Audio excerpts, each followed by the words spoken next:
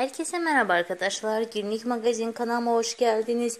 Yepyeni bir video ile yine sizlerleyim. Arkadaşlar ünlü oyuncumuz olan Gökbek Demirci ve Özge Yağız'ın yepyeni bir karesini sizlerle paylaşmak istiyorum. Bildiğiniz gibi dün Özge Yağız e, Marmaris'e gitmiş. İlhan Bey onu Marmaris'e götürmüş arkadaşlar. Bununla bağlı sizlerle bir video e, paylaşmıştım.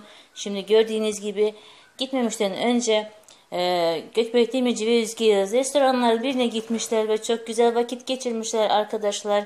Bildiğiniz gibi e, bu aralar e, yani bu e, sezonda çekimler başlamış ve Gökbek Demirci, Özge Yağız birbirlerini sık sık göremeyecekler arkadaşlar. Sabırsızlıkla Özge Yağız'ın yeni dizisini bekliyoruz arkadaşlar.